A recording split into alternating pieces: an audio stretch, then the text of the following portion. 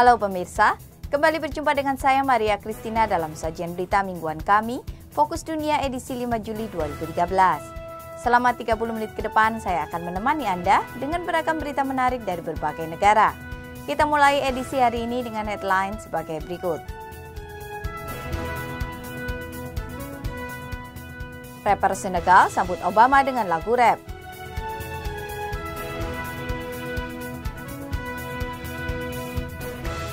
Fenomena bulan raksasa di langit Australia.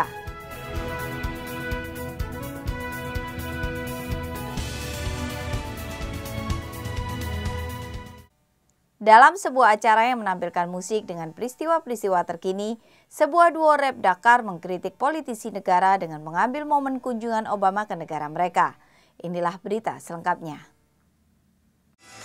Dua rapper populer asal Senegal, Katy dan Schumann, dalam waktu singkat dikenal luas di negaranya sebagai penyiar berita mingguan. Mereka bertugas membawakan acara jurnal rap yang merupakan siaran berita lokal dan mancanegara yang disajikan dalam format lagu rap. Kunjungan Presiden AS Barack Obama ke Senegal untuk mempromosikan aspek demokrasi pun tak luput dari pemberitaan duo rapper ini. Mereka menulis dan membawakan isu ini dalam lagu rap. Obama il est Kenyan, mais ça n'empêche que voilà, c'est pas parce qu'il est Kenyan d'origine Obama, dia orang Kenya, tapi bukan karena ia memiliki akar Kenya, ia jadi presiden Afrika. Apa yang terjadi ketika dia dipilih? Dia menjadi presiden kulit hitam di Amerika, bahkan jika ia berasal dari Afrika.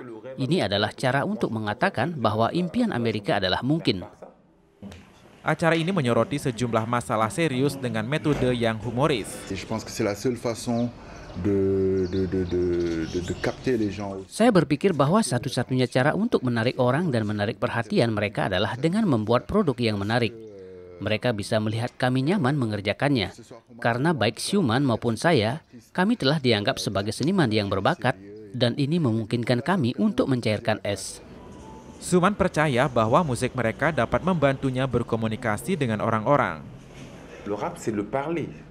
Rap adalah berbicara, membacakan puisi. Ini seperti membacakan puisi dan masing-masing adalah diciptakan oleh sang penyairnya sendiri. Masing-masing memiliki semangat dari sang penyair di dalamnya. Perbedaannya adalah Anda harus mengetahui ritme untuk membuat musik. Jadi saya berharap acara ini akan terus berkembang. Ada lebih banyak lagi yang dapat kita lakukan dan misi terbesar adalah untuk menunjukkan bahwa Afrika mampu melakukan hal-hal yang baik. Segmen berita mingguan yang disiarkan di Prancis dan Senegal ini mendapat puluhan ribu penonton di YouTube dan televisi nasional. Bulan raksasa atau supermoon diabadikan oleh kru TV Australia belum lama ini. Ini merupakan fenomena di saat bulan berada di titik terdekat dengan bumi dan terjadi pada setiap 14 kali bulan purnama. Fenomena bulan raksasa diabadikan oleh kamera TV Australia minggu malam 23 Juni lalu. Itu terjadi saat bulan berada di titik terdekat dengan bumi hingga lebih besar dan terang dibandingkan biasanya. Menurut Dr. Tanya Hill, astronom dari Planetarium Melbourne, istilah bulan raksasa sebenarnya diciptakan oleh NASA agar lebih banyak orang tertarik pada astronomi. Bulan raksasa bisa disebut bulan terdekat dengan bumi. Saat bulan purnama itu berada di titik terdekat berorbit mengelilingi bumi. Hubungan bulan purnama dan intensitas fenomena seperti gempa, letusan gunung berapi, serta hal aneh lainnya sudah banyak dikumpulkan namun diabaikan oleh para ilmuwan. Meski statistik kedengarannya menakjubkan bahwa bulan lebih besar 10% atau 30% lebih terang dari biasanya saat bulan purnama berada di titik terjauh. Namun nyatanya kita belum benar-benar melihat banyak perbedaannya. Media setempat berkata bulan memiliki jarak rata-rata 380.000 km dari bumi dan berjarak 25.000 km lebih dekat pada minggu malam. Bulan raksasa akan kembali pada Agustus 2014 dan terjadi pada setiap 14 kali bulan purnama. Selama bencana kelaparan China yang terjadi antara 1959 hingga 1962, jutaan orang telah meninggal. Sichuan adalah salah satu provinsi yang paling menderita depopulasi yang mengerikan. Sebagian besar peneliti percaya sekitar 10-12 juta penduduk mati kelaparan selama bencana kelaparan tersebut terjadi. Wilayah Yingqing terletak di tengah-tengah Ya'an Sichuan, bahkan kehilangan setengah penduduknya. Maret lalu, Konferensi Konsulatif Politik Kota Ya'an siap mempublikasikan bukti dokumenter tentang bencana kelaparan tersebut. Tetapi tiba-tiba rencana tersebut terhenti setelah Kongres Nasional PKC ke-18. Setelah diskusi, informasi tersebut akhirnya diterbitkan di Hong Kong dalam buku berjudul Bencana Besar. Sayangnya, meskipun penerbit secara diam-diam berusaha menerbitkan buku di China, mereka gagal terlepas dari kontrol ketat PKC. Kabupaten Yinqing terletak di tengah Ya'an, Provinsi Sichuan, pernah menjadi pos penting di jalur Sutra Selatan. Memiliki sumber daya alam bagus seperti tanah subur, rumput subur, dan air segar. Tetapi daerah ini kehilangan setengah penduduknya selama bencana kelaparan antara 1959 dan 1962. Maret lalu, Konferensi Konsultasi Politik Kota Yaan mengumpulkan bukti dokumenter tentang bencana kelaparan untuk diterbitkan dalam buku berjudul Catatan Sejarah Tiga Tahun Bencana Buatan Manusia. Buku ini akan memberikan bukti penting bagi Komite Sentral PKC untuk menilai kembali Mao Zedong. Tapi setelah Kongres Nasional ke-18 selesai, pemimpin partai dari daerah mengatakan kepada kelompok penulis bahwa rencana tersebut ditolak dan buku itu tidak akan diterbitkan. Untuk mencegah ditutupinya bukti sejarah, Dong Ziping, kepala editor buku, memutuskan untuk menerbitkan dengan biaya sendiri. Tidak ada penerbit di Sichuan berani untuk menerbitkan buku itu. Akhirnya, penulis Beijing, Ti Liu, menghubungi penerbit di Hong Kong. Bencana yang terjadi 53 tahun yang lalu di wilayah Yinqing akhirnya terungkap ke publik. Ti Liu berkata kepada NTD bahwa lebih dari 30 juta orang meninggal karena kelaparan selama tiga tahun. Beberapa mengatakan jumlah kematian lebih dari 40 juta. Selain itu, di Provinsi Sichuan, 12,5 juta orang telah meninggal. 我的母亲就是那个时候死的。Ibuku meninggal saat bencana kelaparan. Begitu pula paman saya. Apakah Anda tahu daerah mana yang paling parah? Yingjing di Sichuan. Yingjing adalah wilayah yang sangat kecil. Dan setengah dari 120 ribu penduduk meninggal karena kelaparan. Bencana besar mencatat kisah penduduk selama bencana kelaparan yang diceritakan kembali oleh yang selamat. Banyak foto dan fakta yang terungkap dalam buku ini. Yang selamat berasal dari berbagai latar belakang. Ada sekretaris partai, kepala daerah, dokter, direktur, dan anggota masyarakat.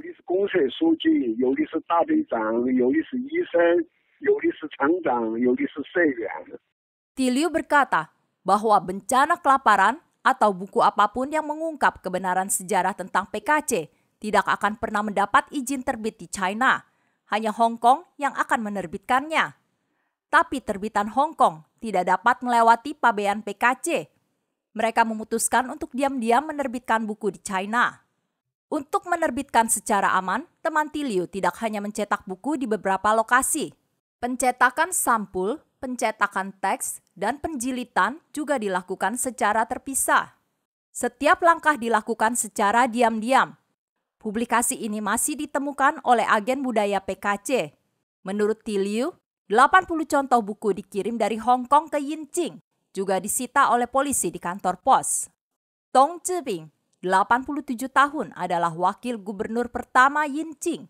Ia juga menjadi saksi bencana.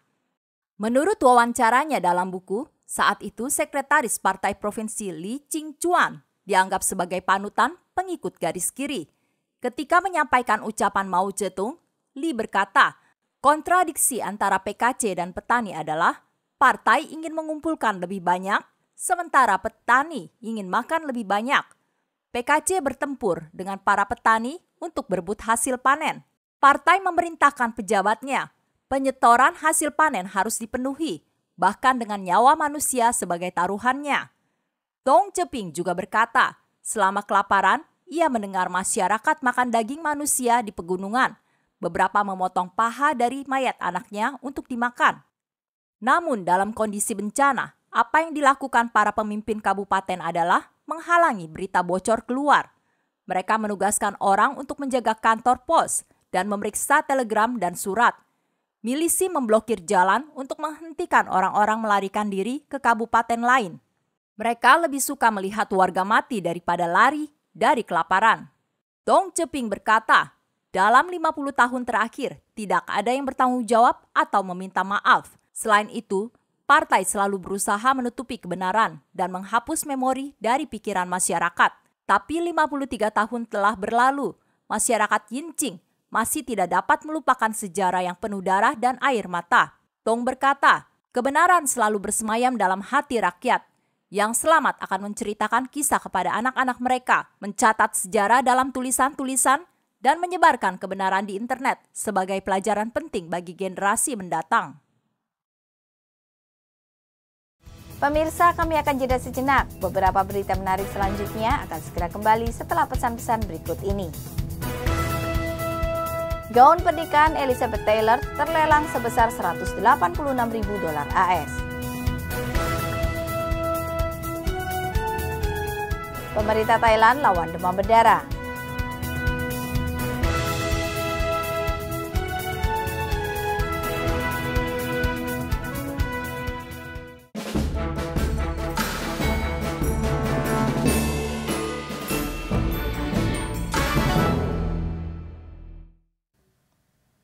Aktivis tunanetra Chen Guangzheng tiba di Taiwan dalam kunjungan 19 hari.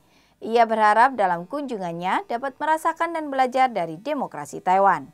Berikut berita selengkapnya. Aktivis tunanetra Chen Guangzheng dan istrinya Yuan Weijing tiba di Taiwan pada Minggu 23 Juni untuk memulai kunjungan 19 hari di pulau itu. Chen berharap dapat merasakan demokrasi Taiwan dalam kunjungannya, namun belum dipastikan apakah ia akan bertemu Presiden Ma Ying-jeou. Saya ingin merasakan kemajuan peradaban Taiwan, demokrasi dan keadilannya, juga belajar dari keberhasilan demokrasi. Saya harap rekan dari seluruh lapisan masyarakat bersedia berbagi pengetahuan mereka. Saya juga ingin bertemu Presiden Ma bersama teman-teman yang peduli pada masalah HAM.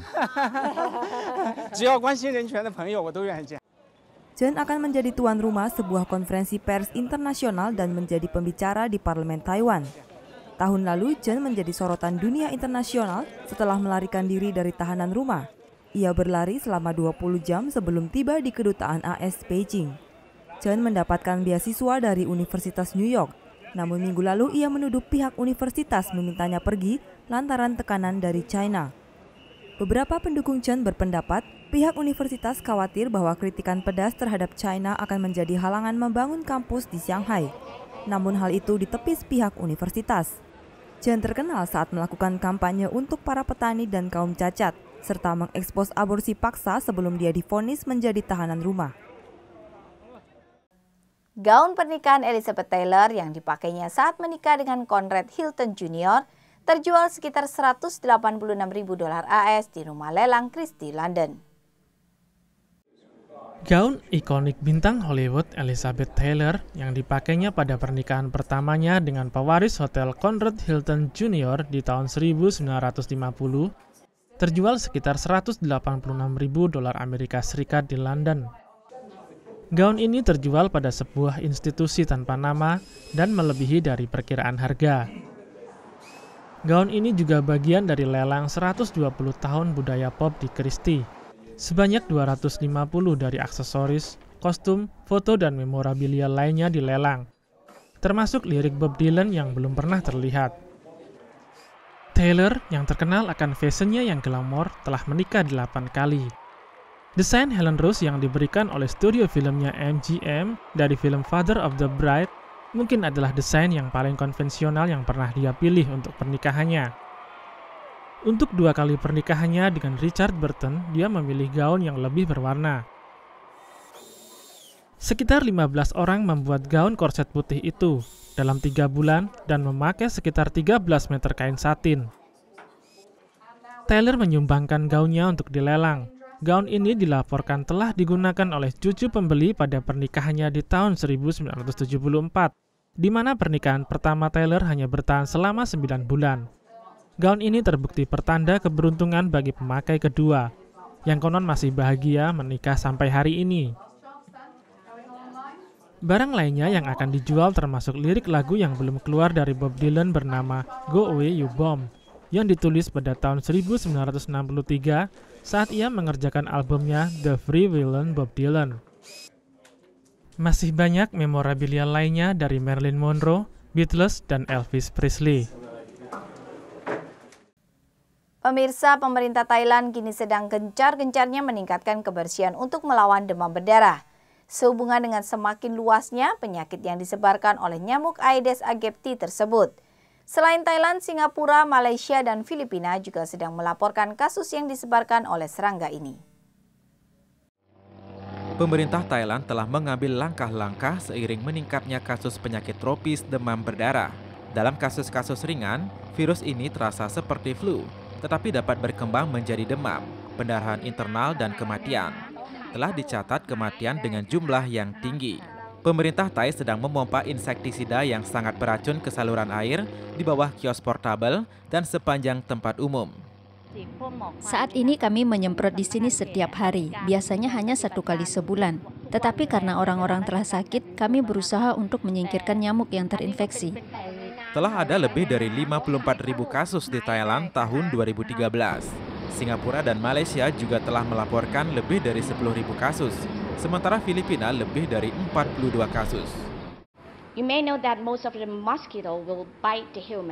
Nyamuk jenis ini yang kita sebut Aedes aegypti yang biasanya menggigit seorang pasien pada siang hari. Berbeda dengan malaria atau penyakit yang disebarkan serangga lainnya yang biasanya terjadi pada malam hari.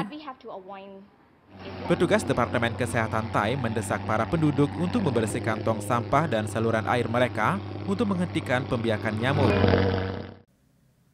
100 payung cemerlang memberi peringatan kepada orang-orang New York akan bahaya terlalu banyak kena sinar matahari. Acara ini juga dimanfaatkan untuk memberikan cek kanker kulit gratis bagi para warganya.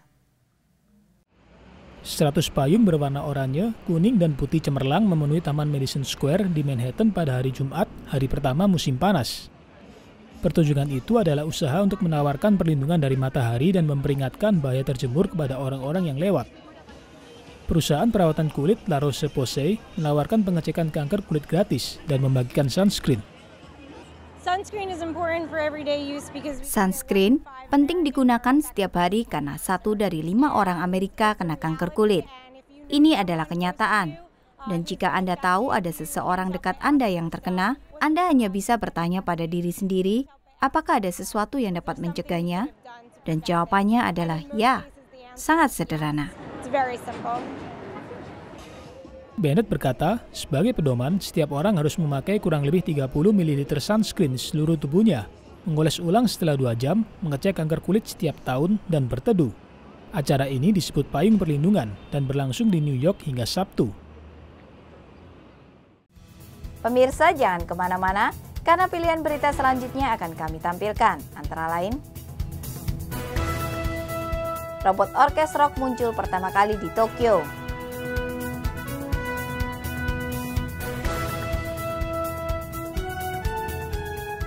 Temui anjing terjelek dunia 2013.